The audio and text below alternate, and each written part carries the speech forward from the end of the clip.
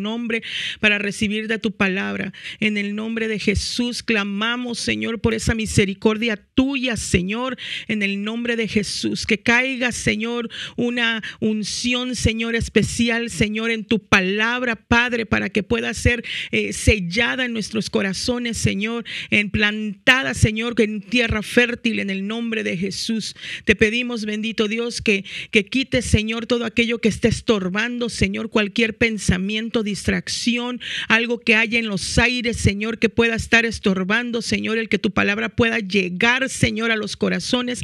En el nombre de Jesús, disipa, Señor, eh, todo aquello que esté estorbando, Padre, todo espíritu de estupor, Señor, lo echamos fuera y declaramos, Señor, que tú tienes el control de nuestra vida en esta noche, Señor. Nos ponemos en tus manos y recibimos, Señor, de ti, en el nombre de Jesús. Aleluya. Amén. Bueno, pues chicos, em, hoy va a ser un poquito eh, diferente el tema que les traigo el día de hoy. Em, quiero que llamen a sus papás. Yo sé que hoy es para los de la alabanza y regularmente todos los grupos de alabanza pues tienen a jóvenes, a adolescentes y bueno, gente joven, ¿verdad? Y este, em, pero hoy quiero hablarles a los padres de ustedes también no que se vayan ustedes, sino que llamen a sus papás, llamen a su, a su mamá, vente mami, vente papi. Eh, hoy van a hablar eh, algo especial para los papás. Y el tema de hoy eh, que traigo por misericordia del Señor es criando hijos de altar. pues como saben ustedes, tenemos eh, el privilegio de poder eh, servir en la alabanza en la iglesia de Contracosta, estar de directora, pero no solo eso, sino también eh, mis hijas están ahí y pues ya ustedes las conocen y las que los que no, pues Michelle que toca la guitarra y también está tocando el piano ahora y Kiara que toca la flauta y que también dirige, y Mía, que está en la danza y en multimedia. Y bueno, em, algunas personas se me han acercado en otras ocasiones para preguntándome eh, ¿qué, qué hice, qué es lo que hago para que mis hijas estén en el altar. Y bueno, pues antes que nada, primero quiero leer estos, estos versículos antes de empezar con el tema, porque conforme iba haciendo el tema, me estaba dando cuenta que más que yo poderles decir a ustedes, eh, padres, acerca de este tema, algo que, yo he vivido, obviamente, ¿verdad? Es, es, eh, de eso damos. Eh, más bien es algo que yo estoy aprendiendo. El Señor me habló muchísimo, muchísimo a través de este tema y creo que si me está sirviendo a mí, Puede ser que a ti también, padre, madre, que tienes hijos en, en la alabanza. Así que, eh, pero antes de todo esto, quiero leer esta, esta parte que mm, siento en mi corazón el poder leerlo. Dijo, dice Pablo en Filipenses 3:12. No quiero decir que ya haya logrado estas cosas ni que ya haya alcanzado la perfección Estoy hablando yo, ¿verdad? No quiero decir eso. Pero sigo adelante a fin de hacer mía esa perfección para la cual Cristo Jesús primeramente me hizo suyo. No, amados hermanos, no lo he logrado, pero me concentro únicamente en esto. Olvido el pasado y fijo la mirada en lo que tengo por delante y así avanzo hasta llegar al final de la carrera para recibir el premio celestial al cual Dios nos llama por medio de Cristo Jesús. Que todos los que son espiritualmente maduros estén de acuerdo con estas cosas y si ustedes difieren de algo que estoy seguro que Dios se los hará entender, pero debemos aferrarnos al avance que ya hemos al avance que ya hemos logrado hasta ahora. Así que antes de yo poder decir eh, esto es lo que he hecho, quiero decirles de que estamos caminando juntos, ¿verdad? Y bueno, le, em, le doy gracias al Señor porque en su infinita misericordia nos permite vivir situaciones en las cuales podemos ver su mano eh, como padres, como padres de, siervos de altar, precisamente el, tema, ¿verdad? Que, que se llama criando hijos de altar. Y bueno, el, el primer punto que quiero tratar es que nosotros tenemos que entender quiénes son los, nuestros hijos. Y bueno, los hijos, según Salmo 127, del 3 al 5, dice, los hijos son una herencia del Señor, los frutos del vientre son una recompensa.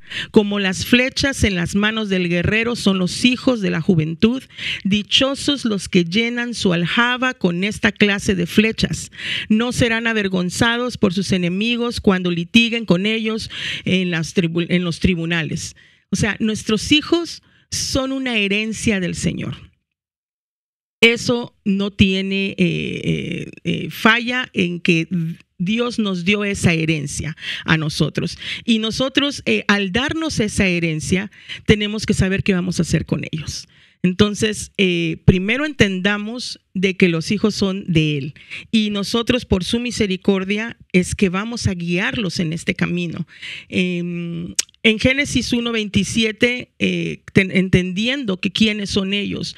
Y es algo que mm, no sé, usted no me dejará mentir que cuando, por ejemplo, eh, tal vez muchos de nosotros no meditamos el que el, tener hijos antes de, que nos casáramos o probablemente sí probablemente usted planificó y dijo voy a tener tantos hijos y los voy a encaminar usted tal vez ya conocía al Señor y dijo los voy a guiar en el, en el Señor pero eh, tenemos que entender que nuestros hijos cuando ellos son siervos de altar son especiales son diferentes y tenemos que entender y, que caiga en nuestra mente y en nuestro corazón que ellos son creados a su imagen. Como dice Génesis 1.27, fue así como Dios creó al ser humano tal y como es Dios.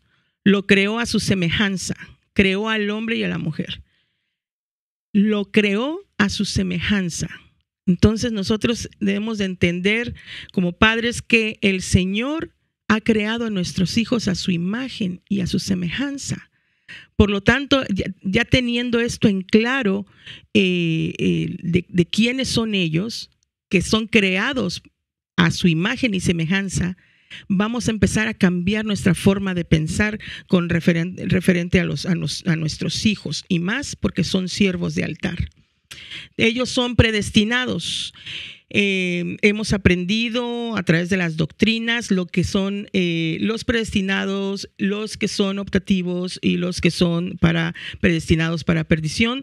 Eh, hablando de los predestinados, yo recuerdo de que a mí mi, mi abuelita me decía, es que tú eres esto, tú me, decías siempre, tú eres una hija de Dios, tú eres una sierva de Dios y desde chiquita. Y me decía, tú vas a servir al Señor y yo crecí con esa, con esa mentalidad de que yo era sierva del Señor y que yo tenía que hacer las cosas que el Señor eh, me mandaba hacer y que, que yo tenía que estar haciendo. ¿Por qué? Porque había una predestinación. Llega un momento en que no solo lo que yo escuché, sino que trae una convicción el Espíritu Santo de quién es uno. Y cuando los hijos vienen a ser siervos de altar, vienen a ser precisamente eso, predestinados para estar en el altar. Entonces dice Romanos 8, 29, 30. Porque a los que antes conoció, también los predestinó para que fueran hechos conformes a la imagen de su Hijo para que Él sea el primogénito entre muchos hermanos.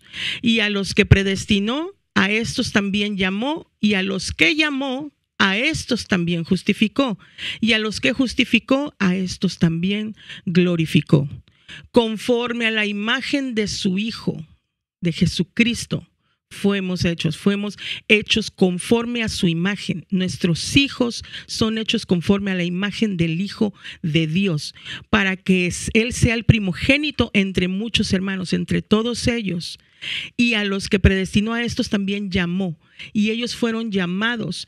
Eh, esta es una revelación que solamente el Espíritu Santo puede, puede dar a nosotros como padres, el saber quiénes son nuestros hijos en las manos del Señor, en la obra, en el servicio del altar. Cuando el Señor nos revela a nosotros, el Espíritu Santo nos revela, nosotros ya nos damos cuenta que realmente los hijos pues no son nuestros y y así es, o sea, los hijos realmente no son nuestros. Hay un dicho que dice, los hijos son prestados. Así que eh, es cierto, nosotros solo somos ese instrumento que el Señor usa para que nosotros podamos guiarlos y encaminarlos en, los, en las cosas del Señor. Pero cuando vienen con un propósito especial, o sea, ya no solo el que son, son hijos, son seres humanos y que eh, están aquí en la tierra o que llegan a ser salvos. No, sino un propósito especial.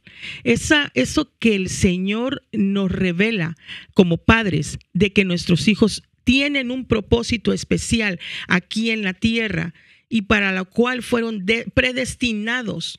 Y una vez que nosotros entendemos eso, empezamos a trabajar en ello para que se cumpla ese propósito.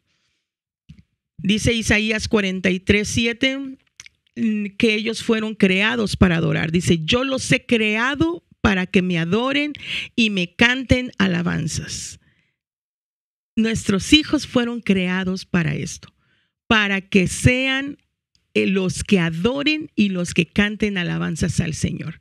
Eh, yo recuerdo, y bueno, mediante, voy a ir diciendo estos versículos y también dándoles un poco de mi testimonio con respecto a mis hijas. Eh, nosotros cuando con mi esposo decidimos tener hijas y, o sea, nuestros hijos, no sabíamos qué iba a ser, ¿verdad? Este, cuando decidimos tener a nuestros hijos, eh, los planificamos, ¿verdad? Los planificamos de que queríamos tener dos, dos hijos primero eh, y después cuando tuvieran nueve y diez años íbamos a tener un tercer hijo para que cuando estuvieran los otros eh, hijos grandes, pues tuviéramos todavía un chiquito en casa y bueno, pues así lo hicimos.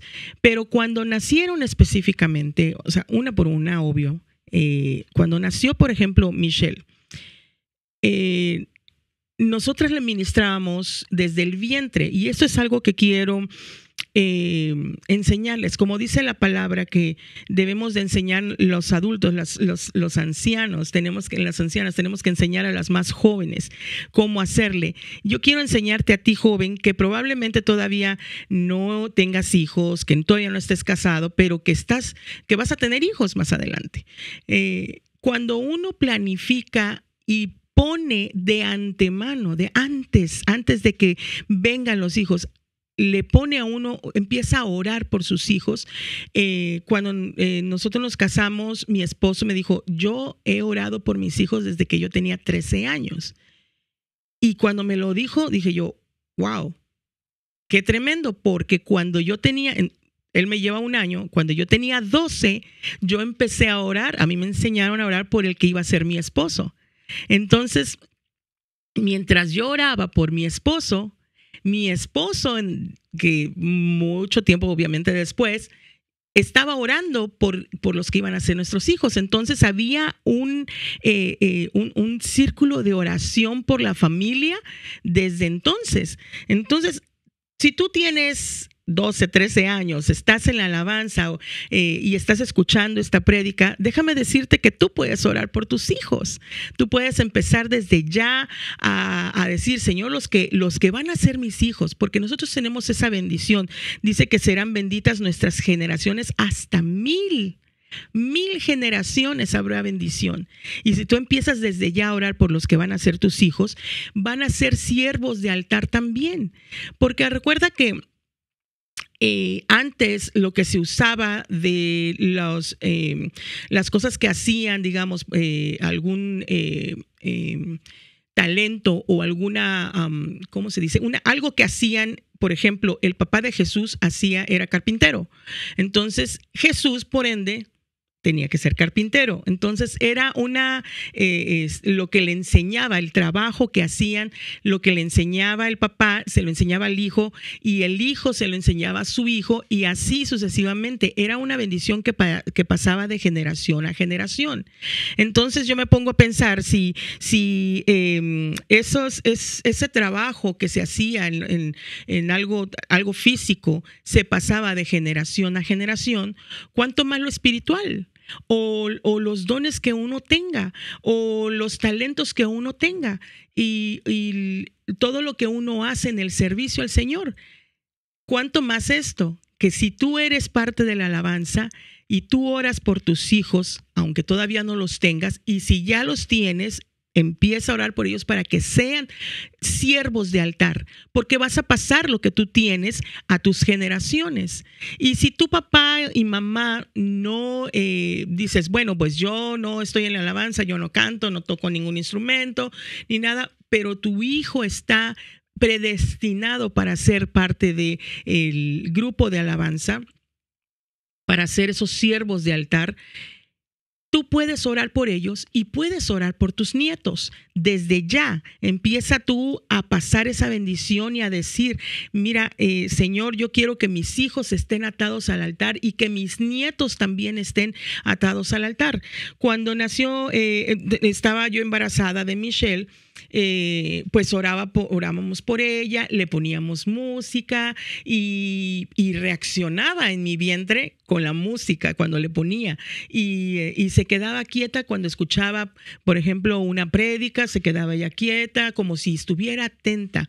Y entonces empezamos a ministrarle desde el vientre y empezamos, cuando nació aún más, le empezamos a decir, tú eres una misionera Tú eres una sierva de Dios, tú vas a servir y vas a ir a las naciones y vas a hacer esto. Y empezamos a ministrarle desde el vientre.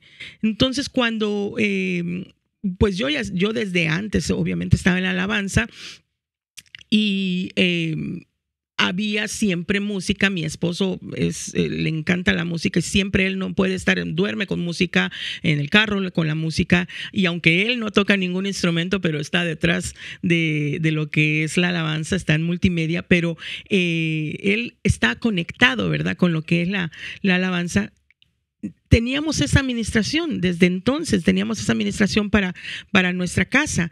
Y, y entonces Michelle creció y, si nosotros decirlo, porque le ministrábamos desde chiquita, ¿verdad? Cuando la presentamos al Señor, nosotros la presentamos en la iglesia y decíamos, Señor, aquí está tu hija, tu misionera, la que va a ir a las naciones, Señor, y úsala. Y más adelante, estando ya en la escuela, en, lo que es el high school, em, ella se metió al grupo de misiones y empezó a hacer sus viajes misioneros sin nosotros, o sea, sin nosotros decirle, oh, tienes que hacer esto, hablando de, eso específicamente. Entonces ella empezó a hacer lo que le habíamos ministrado. Cuando nació Kiara, nosotros empezamos a ministrarle que ella iba a ser una adoradora y que ella iba a adorar y que ella eh, estaba, venía predestinada para adorar.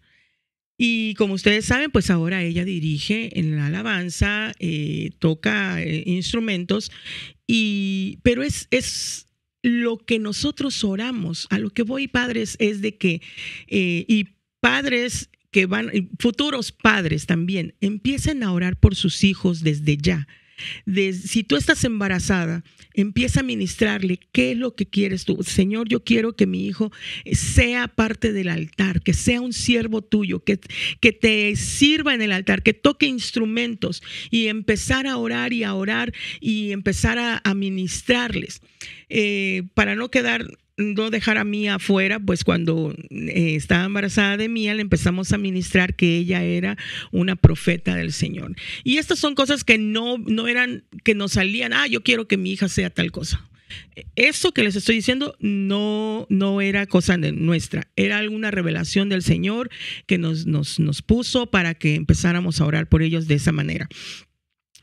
Eh, ella pues tiene 13 años, está en la danza y está trabajando en otras áreas en la, iglesia y vamos a ver también esa promesa cumplida porque nosotros lo, pusimos desde el vientre que ella iba a hacer eso. Entonces, eh, nosotros tenemos que entender a qué vienen nuestros hijos. ¿Para qué vienen a esta tierra? ¿Cuál es el propósito? ¿Qué es lo que Dios quiere? ¿En qué los va a usar? ¿Qué es lo que van a hacer? Tenemos que tener eso, no nada más de que, oh, mi hijo va a ser un doctor, va a ser un, que eso es buenísimo, buenísimo, que estudien una carrera, que se superen, que se preparen, eh, que logren eh, éxitos aquí en la tierra, es buenísimo. Pero en el ámbito espiritual es mucho más importante, porque es lo que va a permanecer, eso es lo que es eterno eh, lo, demás se va a quedar aquí nada más en la vida terrenal, pero lo, lo espiritual va, va a trascender, porque todo, recuerden, todo lo que nosotros hacemos eh, para, el, para el Señor, todo lo que nosotros hacemos para el servicio, absolutamente todo tiene una repercusión en lo eterno. Entonces, nosotros entendiendo para qué vienen, vienen nuestros hijos, tenemos que saber de que ellos fueron creados para que adoren y canten alabanzas al Señor. Sirvan donde sirvan, Tal vez, oh, mi hijo pues está detrás de cámaras, está en multimedia, mi hijo está de servidor, qué sé yo. No importa, son siervos, siervos de, del, tabernáculo, siervos del, de la casa de Dios. Pero fueron aquí, dicen, creados para adorar y cantar alabanzas. Interesante, ¿verdad?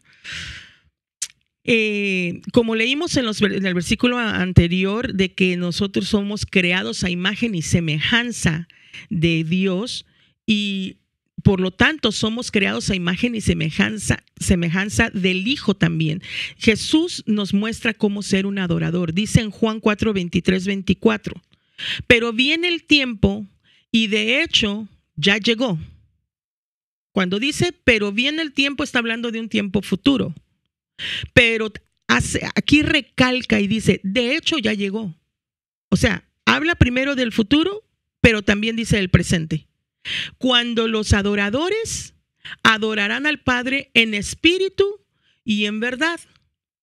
Y esta palabra espíritu, si usted se da cuenta, está escrita con mayúscula. Y cuando se trata de mayúscula, está hablando del Espíritu Santo. Cuando la, la palabra espíritu está escrita con minúscula, habla del espíritu que uno tiene. Como usted sabe, nosotros somos tripartitos, hechos a la semejanza de Dios, así como Él es eh, trino, que es eh, Padre, Hijo y Espíritu Santo, nosotros también somos tripartitos, hechos a su semejanza, con un cuerpo y un alma y un espíritu. Ese espíritu que nosotros tenemos, que es el que, el que nos, nos dio, cuando nos dio el hálito de vida, el que viene del Padre y es el que, el que hace que nosotros eh, con su soplo existamos, es con E minúscula. Pero aquí está diciendo que los adoradores adorarán al Padre en espíritu, con mayúscula, y en verdad.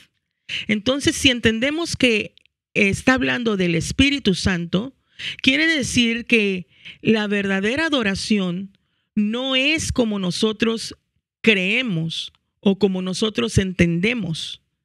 Tiene que ser algo sobrenatural, algo que viene precisamente del Espíritu Santo, algo que cae. Es una es, es un, un rema cuando uno alaba y adora, que un, una, un entendimiento sobrenatural no nada más es cantar, no nada más es tocar un instrumento, sino que cuando cae esa, es, esa revelación del Espíritu Santo, nos hace que nosotros adoremos. Por eso cuando uno entra al lugar santísimo, uno no sabe ni cómo, o sea, se, se, desaparece de aquí y se eleva, obviamente uno sube al monte de Sión y se transporta y es como que no existe nada más que la presencia del Señor. Pero es porque estamos adorando en lo que el Espíritu Santo nos lleva a adorar, porque Él es el que nos guía. Y cuando hacemos eso, miren, hay veces en que yo... Eh, cuando nos, por ejemplo, usted, si usted dirige la alabanza, usted no me dejará mentir de que cuando hacemos tal vez nuestra lista de lo que vamos a cantar y estamos preguntándole al Señor, Señor, ¿qué quieres que te cante hoy? Señor, mira, este, eh, este canto, no, este, este no, o qué quieres, qué quieres que ministre a tu corazón, qué quieres que yo ministre a tu pueblo y empezamos a preguntarle al Señor. Y o a veces decimos, ok, ahí tengo una lista este, de hace ocho meses, no se van a dar cuenta que es la misma, cantemos esa. ¿Cómo lo hacen? ¿Cómo, cómo dejas que el Espíritu realmente te guíe? Que el Espíritu sea el que te diga qué es lo que tienes que ministrar. Porque acuérdense de que cuando nosotros ministramos la alabanza, ministramos en, en, forma vertical y también horizontal. Vertical hacia el Padre, que es el que, el que estamos, hacia el Hijo que estamos adorando a través del Espíritu Santo, y, y, y horizontal hacia el pueblo porque el pueblo también necesita ser ministrado a través de la alabanza. Acuérdense que ya saben ustedes que hay liberación, hay bendición, hay sanidad a través de la alabanza y, y, pues todo lo que, lo, que, lo que trae. Pero no sé si usted ha, ha hecho esto, pero últimamente el Señor me puso a que yo no haga la lista yo sino que, no sé si me explico con esto, sino que le pregunte al Espíritu Santo no solo la lista, el orden de la lista, sino que más bien yo le digo, mira Señor, aquí está lo que tú me diste, pero hoy no quiero cantar yo. No quiero ser yo la que cante, no quiero ser yo la que adore, la que, o que voy a decir, que aquí voy a hablar y voy a decir esto, voy a, algo mecanizado, algo ya preparado. No, sino que le digo, Señor, tú tómame de tal modo que cuando se dirija la alabanza, que cuando lo dirija, sea el Espíritu Santo el que adore, que no sea yo, que me use porque nosotros somos somos instrumentos, somos vasijas que son usadas por el Señor, que somos usados por el Señor. Pero cuando dejamos aquí, entonces entramos a esto que es las, los adoradores adoran al Padre en espíritu y en verdad. Y cuando habla de verdad, tenemos que ir aquí a ver quién es la verdad. No podemos decir qué es la verdad, sino más bien quién es la verdad. Y la verdad es Jesús. Y entonces dice, porque ese es el tiempo en que los adoradores, es, es porque este es el tipo de adoración que, que, el Padre quiere. Este es el tipo, el que tiene el Espíritu Santo y a Jesús. Entonces, eh, tenemos que entender que nuestros hijos vienen a ser semejanza de Jesús. Tienen que ser hechos, son hechos a la imagen y semejanza de Él. Por lo tanto, la adoración que ellos traigan tiene que ser en espíritu y en verdad. Dice Dios es espíritu, así que los adoradores deben adorar en espíritu y en verdad. Bueno, ya entendimos quién es, quién es el Hijo, cómo viene, para qué viene. ¿Cómo le hago? ¿Qué es lo que tengo que hacer? ¿Qué en lo práctico, qué es lo que yo tengo que hacer como padre para que mis hijos lleguen a este nivel o a este entendimiento, a esta eh, comprensión de quiénes son? Porque miren, sinceramente, tal vez a uno... Eh, ¿Cuántas veces ha pasado de que el Señor le revela, por ejemplo, a nuestro pastor acerca de alguien, pero ese alguien no se cree que sea lo que ha sido revelado a nuestro pastor. Por ejemplo, si nuestro pastor dice, mira, tú, este, yo veo que tú eres, tú vas a ser un buen pastor.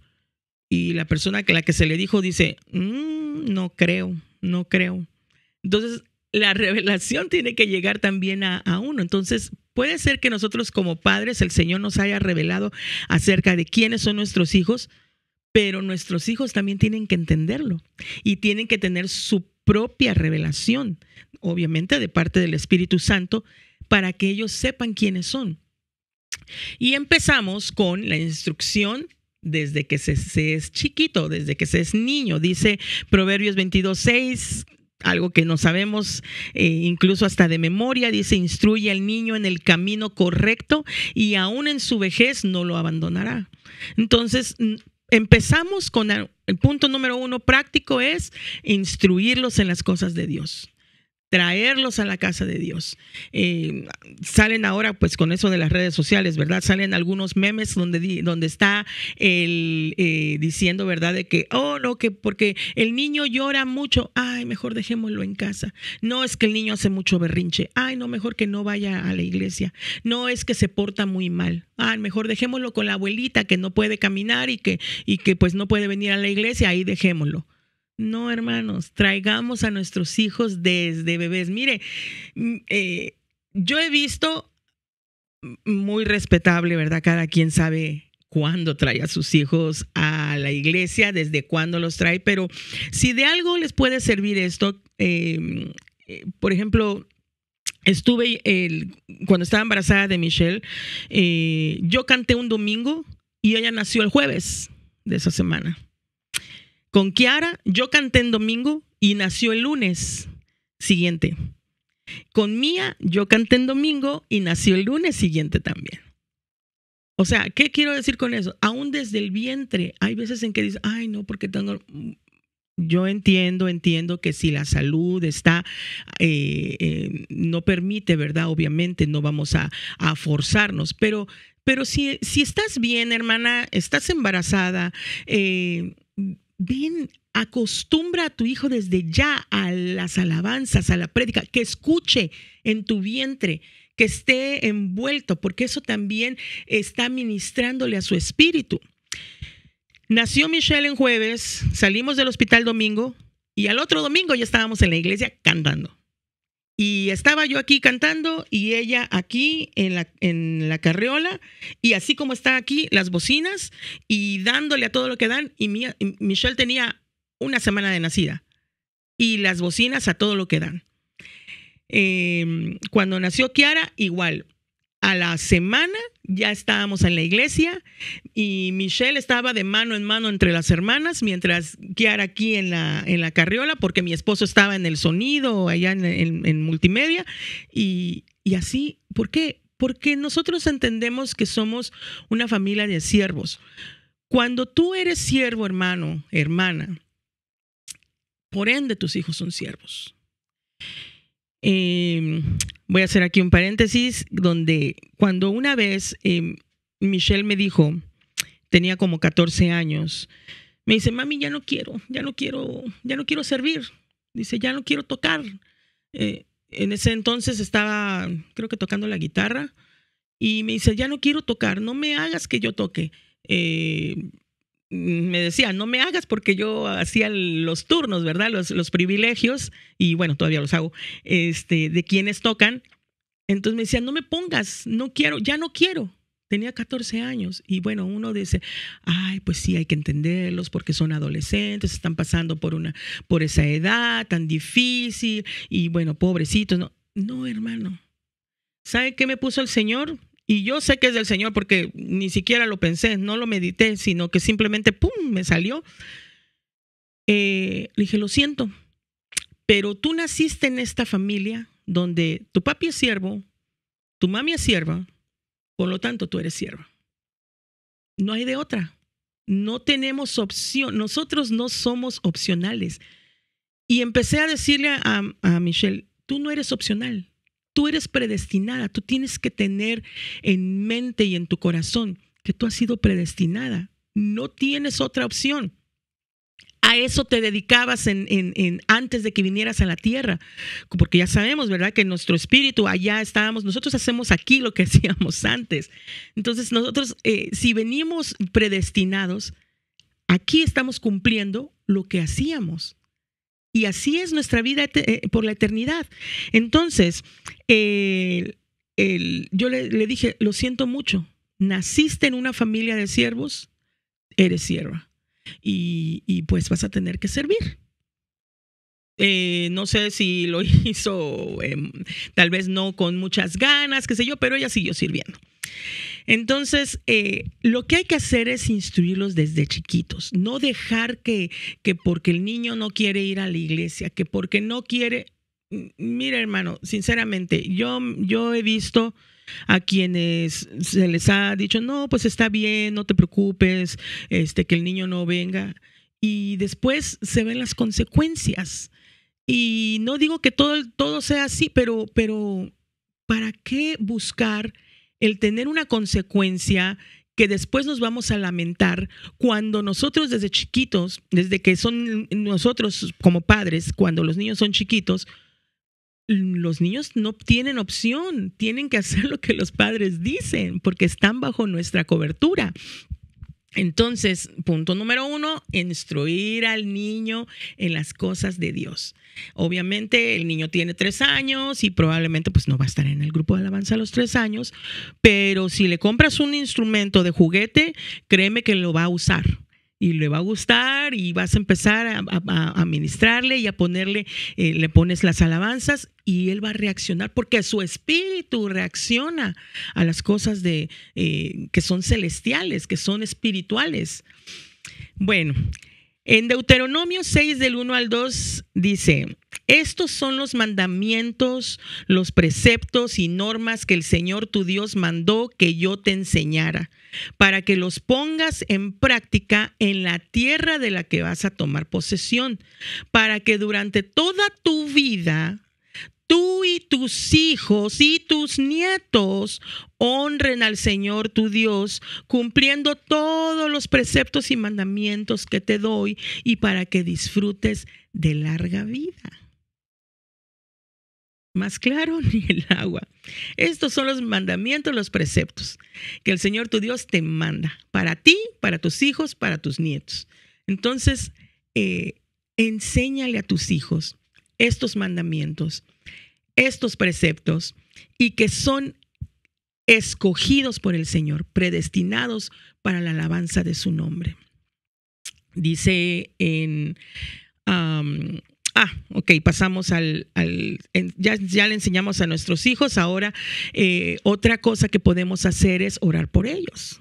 Lo que les decía, que... Eh, pues lloraba desde, desde que estaba eh, embarazada y vemos un ejemplo en la Biblia también con Ana. Ella incluso oró antes de estar embarazada. Y eso es para ustedes, chicas, que pues eh, están jovencitas, que no, no, no están casadas todavía, que no tienen hijos, pero que lo van a tener desde ahorita ya empieza a orar por tus hijos. Señor, mira, yo, yo quiero, yo decía cuando estaba eh, yo soltera, yo decía, yo quiero tener cinco hijos. Yo quiero un piano, una guitarra, un bajo, un saxofón, una batería y bueno, yo cantando, ¿verdad? Entonces yo decía, yo quiero tener cinco hijos porque quiero la orquesta completa. Entonces, este, bueno, el Señor me dio a tres hijas y bueno, por lo menos dos de ellas tocan dos, tres instrumentos, entonces ya se completa, ¿verdad? Eh, estaba pensando, meditando, yo dije yo, Señor, ya tengo piano, tengo con, Michelle, tengo este, eh, Kiara dirige, toca la, la flauta y así. Necesito poner a Mía a que aprenda la batería y si no, Señor, tú me vas a mandar a un hijo eh, que vaya a ser este, para mis hijas, eh, un hijo que pueda servirte también en el altar. Amén, aleluya. Así lo declaramos. Un baterista o un eh, eh, que toque otro instrumento, pero para que tengamos toda la, la orquesta junta. Eh, Ana ora por Samuel, dice en Samuel 1 del 9 al 11, pero Ana se levantó después de haber comido y bebido en Silo y mientras, ya sabemos la historia, ¿verdad? De, Ana, este, se sentía muy triste porque no podía tener hijos, dice, y mientras el sacerdote Elí estaba sentado en la silla junto al poste de la puerta del templo del Señor, ella muy angustiada oraba al Señor y lloraba amargamente e hizo voto y dijo, oh Señor de los ejércitos, si tú te dignas a mirar la aflicción de tu sierva, te acuerdas de mí y no te olvidas de tu sierva, sino que das un hijo a tu sierva, era sierva. Yo lo dedicaré al Señor por todos los días de su vida y nunca pasará navaja sobre su cabeza. Yo lo dedicaré al Señor por todos los días de su vida. Qué lindo eso, de que puedas decir, mis hijos son dedicados todos los días, Señor, que todos los días te sirvan, que todos los días estén en tu casa, que ellos deseen, que tengan esa, eh, ese deseo de ferviente de poder servirte. Miren, hermanos, no es, eh, yo entiendo, no es fácil como les leí al principio, no pretendo que yo soy la que allá lo alcancé y que mis hijas son perfectas y mi vida es perfecta. No es así. Ha costado, ha costado, sí, pero Dios ha sido bueno. Y, ha costado tanto en, acción, en poder empujarlas, poder que, que hagan algo, tanto en oración también. ¿Y qué padre no desea que sus hijos estén en la casa del Señor todos los días de su vida? Todos, todos deseamos eso. Entonces, oremos para que así sea para que los hijos reaccionen. Puede ser de que ahorita tú no lo veas y tú digas, ay Dios mío, pero mi hijo ni siquiera a la iglesia va. no te preocupes, tú sigue orando y clama, así como Ana, dice, Señor, si tú me das a, mi hijo que venga, que, que, te sirva, que te sirva, Señor. Eh, unos, unos, versículos después, dice Ana, dice, oré por este hijo, después cuando ya el Señor se lo concedió, y el Señor contestó mi oración, dándomelo. Ahora se lo entrego al Señor y él servirá al Señor toda su vida. Y entonces Ana dejó ahí el niño y adoró al Señor. Esto es una entrega, un desprendimiento como padres.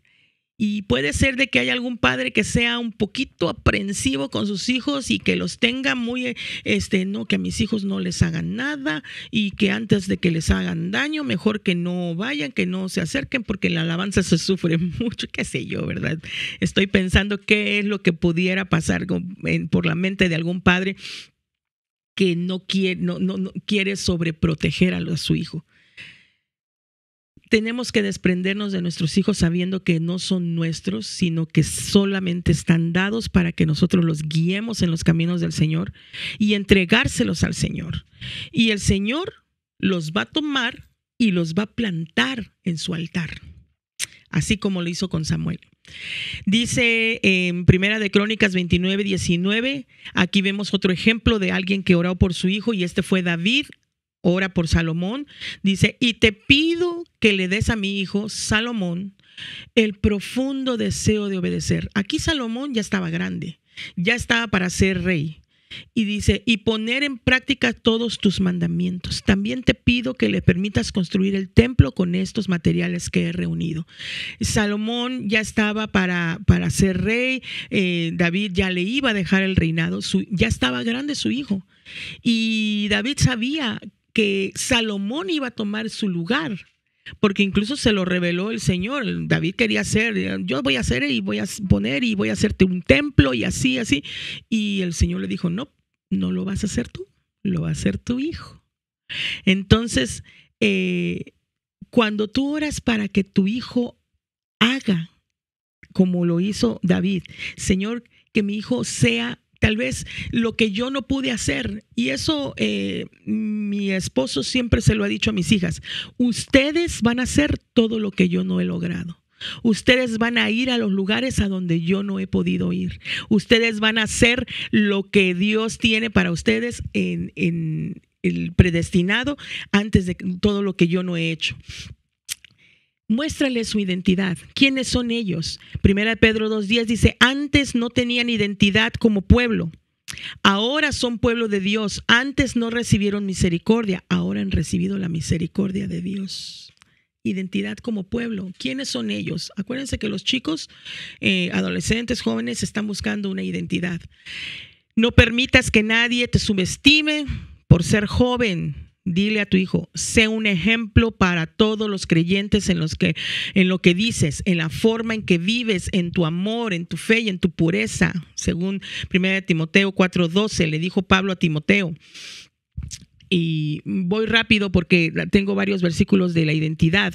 Eh, te conocía aún antes de haberte formado en el vientre de tu madre ya estaban desde antes.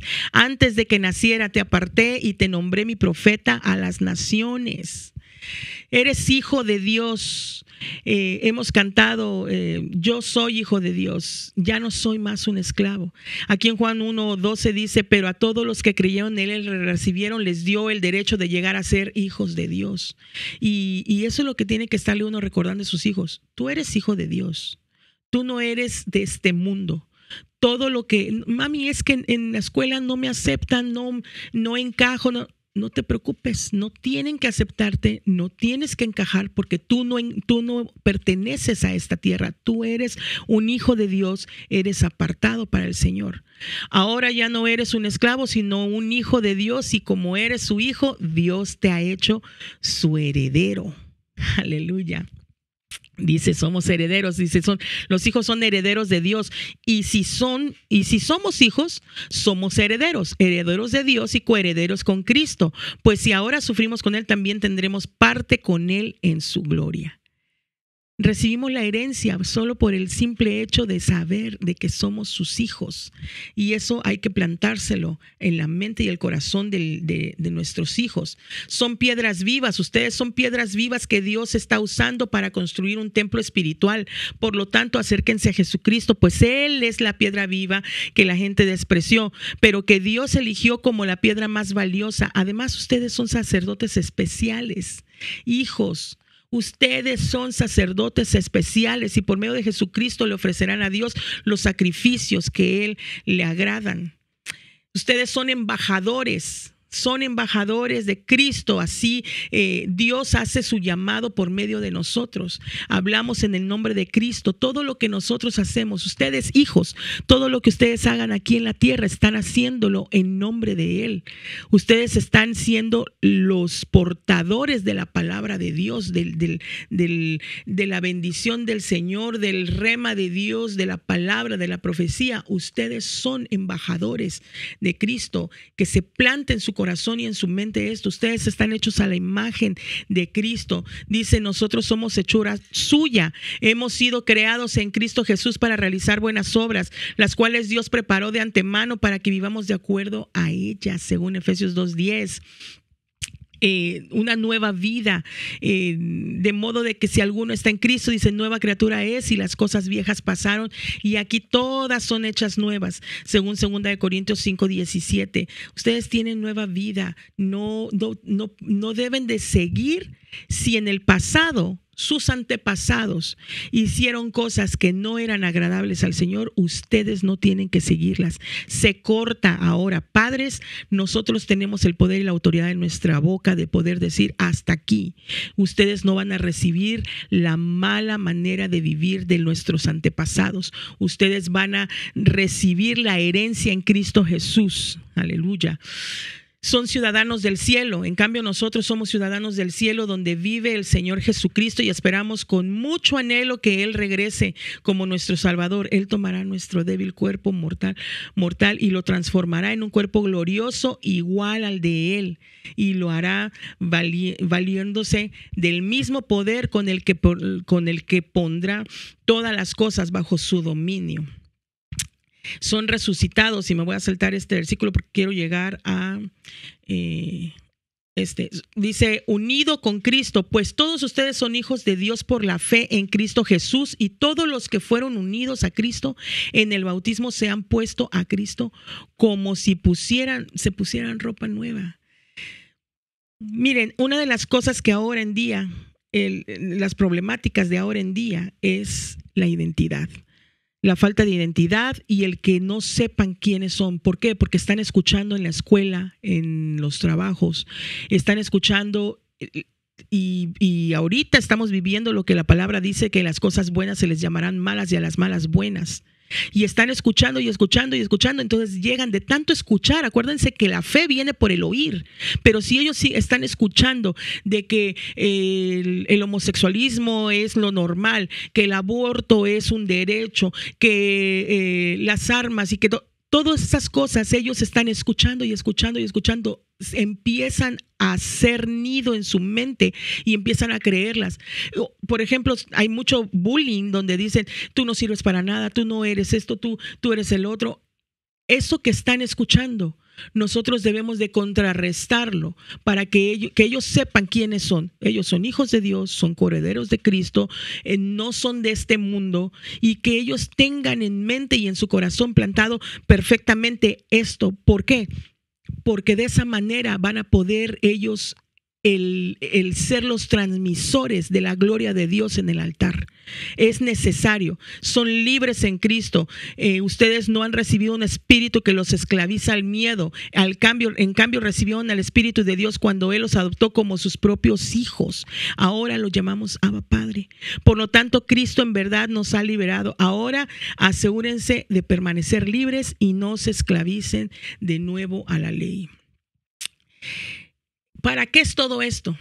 Para llegar a este punto, para hacer un altar de adoración. Así que hermanos, yo les ruego por las misericordias de Dios que se presenten ustedes mismos como un sacrificio vivo, santo y agradable a Dios.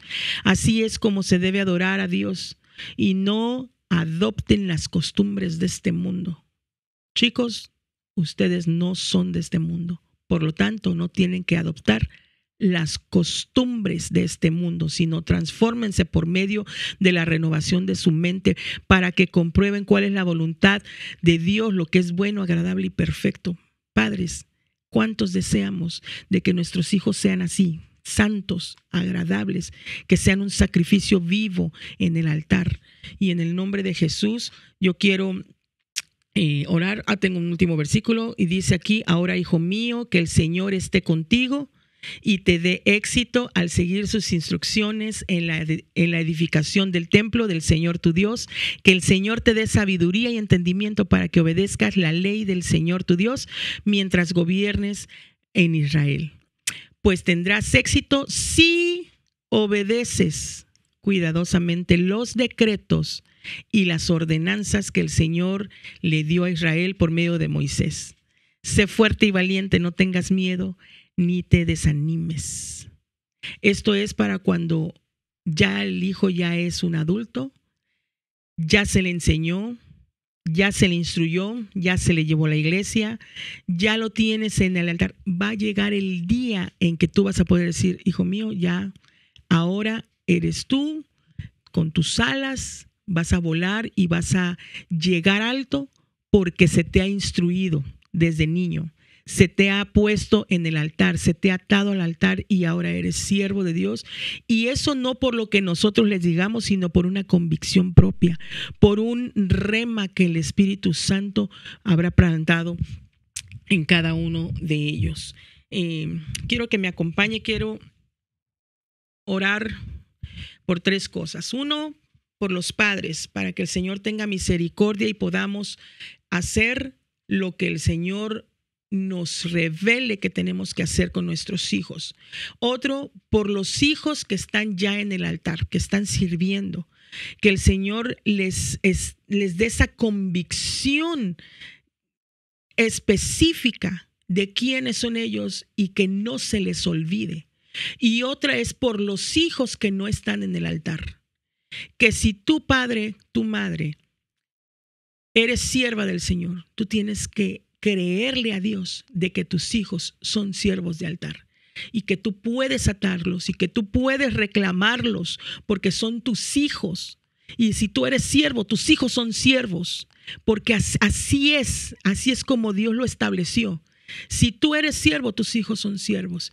Y así que vamos a orar a, dependiendo de tu necesidad, Señor, en el nombre de Jesús, yo vengo pidiéndote, Señor, primeramente por cada padre y cada madre, Señor, que han escuchado, Señor, esta palabra, Señor, que haya que haya sido, Señor, como un taladro, Señor, en sus mentes, Padre, para que sea rompa, Padre, con todo aquello que tal vez, Señor, no se ha venido haciendo, Padre, tal vez aquello que no hemos no hemos comprendido, Señor, ni entendido quiénes son nuestros hijos para ti, que son tus siervos, son tus, tus hijos, Señor. Que podamos nosotros poder, que podamos el, el, hacer, Señor, la labor que tú nos has enviado como padres, que es instruirlos en tu camino, llevarlos, Señor, a tu conocimiento y llevarlos aún, Señor, a tu presencia, Señor. En el nombre de Jesús te pedimos misericordia y que tú nos ayudes, Señor, nos des esa, esa revelación, nos ayudes a poder guiar a nuestros hijos, Señor, para que sean esos siervos tuyos de altar en el nombre de Jesús. Te pedimos también, Señor, por nuestros hijos que ya están sirviendo en el altar, en el nombre de Jesús. Si son menores de edad, Señor, ayúdanos para que podamos seguir guiándolos. Bendíceles, Señor, líbralos, Señor, de toda tentación, todo mal, todo aquello que quiera meterse a sus vidas, Señor, con tanta confusión, Señor, en el mundo, en el nombre de Jesús. Nosotros los cubrimos con tu sangre preciosa, Señor, y declaramos, Señor, que ellos son apartados tuyos, que ellos están predestinados, Señor, para tu gloria, que ellos están predestinados, Señor, para alabanza y adoración tuya, Señor. Y aún nuestros hijos que ya son adultos, Señor, que ya fueron instruidos, que tienen el conocimiento de tu palabra, Señor, que ya saben, Señor, cuáles son el camino, Señor, y que ya son, eh, ellos los que topan, toman sus propias decisiones. En el nombre de Jesús declaramos, Señor, que toda decisión que ellos tomen, Señor, dentro de tus caminos serán guiadas por tu Espíritu Santo. En el nombre de Jesús los cubrimos con tu sangre preciosa y declaramos, Señor, que ninguno de ellos se apartará de ti. Ninguno de ellos, Señor, se irá al mundo. Ninguno de ellos, Señor, cambiará, Padre, el propósito por el cual tú los enviaste, Señor, a esta tierra. En el nombre de Jesús declaramos, Señor, que son predestinados tuyos, Señor, para alabanza de tu nombre y para servicio de tu altar. Y en el nombre de Jesús vengo clamando, Señor, junto a mis hermanas, Madre, Señor, de estos hijos que, que se han apartado tal vez de ti, que tal vez en un momento, Señor, cuando eran niños, Señor, eran guiados eran eh, llevados, Señor, a tus caminos, Padre, pero se alejaron por cualquier circunstancia. O aquellos, Señor, que tal vez, Señor, sus padres llegaron a conocerte, pero los hijos no han querido, Señor, abrir su corazón a ti. Pero están clamando, Señor, estas madres por estos hijos, Señor. En el nombre de Jesús, yo me uno, Señor, a estas madres para que tú vengas, Señor, y arrebate, Señor, de manos del enemigo, Padre, sus vidas en el nombre de Jesús. Yo te ruego, Señor bendito, que tengas misericordia de la madre, Señor, que se arrodilla por sus hijos, Padre, en el nombre de Jesús. Clamamos, Señor, por misericordia y llamamos, Señor, por nombre, Señor, a cada hijo que se ha ido de tu casa, en el nombre de Jesús. Los llamamos por nombre y los atamos a tu altar. Declaramos que son siervos tuyos, Señor, en el nombre de Jesús el nombre poderoso de Jesús. Y te damos gracias, Señor, porque tú haces todas las cosas perfectas, Señor. Tú haces todas las cosas buenas, Señor, para nosotros, Señor, que te amamos. En el nombre poderoso de Jesús te damos gracias, Señor. Los bendecimos, Señor, a cada uno, Señor, de tus siervos de altar, Señor. Los bendecimos, Padre, con toda bendición celestial y declaramos, Señor, que son apartados tuyos, Señor. Aleluya, en el nombre de Jesús. Te damos muchas gracias, bendito Señor. A ti la gloria y la honra, Señor, por siempre y siempre. Aleluya. Hermanos, que el Señor les bendiga. Les agradecemos mucho la sintonía de este día. Recuerden que el domingo tenemos cuatro servicios, eh, los dos en la mañana de Contracosta, nueve de la mañana, once y media de la mañana, y los dos en la tarde de San Francisco, transmitidos directamente a las tres de la tarde y a las cinco y media. Y de ahí, pues toda la semana que viene, en el nombre de Jesús, que declaramos que va a ser de bendición. Que el Señor les bendiga, que pasen un lindo fin de semana y que el Señor les conceda el que sus hijos sean, sigan siendo siervos de altar y que los que todavía no lo son, lo sean en el nombre de Jesús. Dios les bendiga.